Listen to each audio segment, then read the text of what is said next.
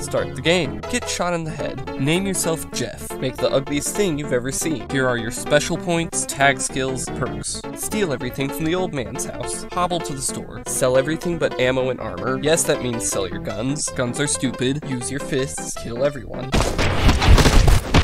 turn all of the ammo into lead. Use a duplication glitch with the lead to become virtually unkillable. Go to jail for killing everyone. Kill everyone in jail. Get a new fist. Run north. Talk to old man Jenkins. Prove you're the meanest, toughest, roughest bastard in the wasteland by killing a Deathclaw.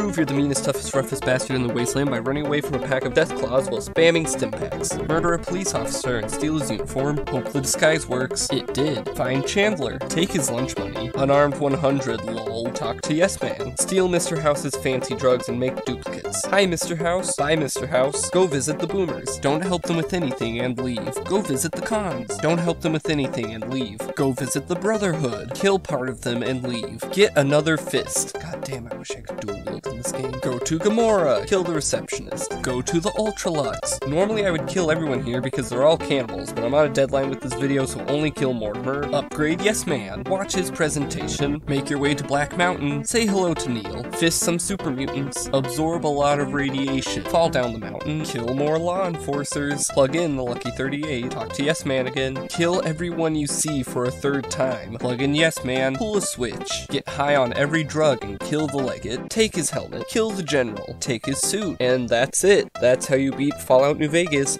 the right way. Kill the narrator.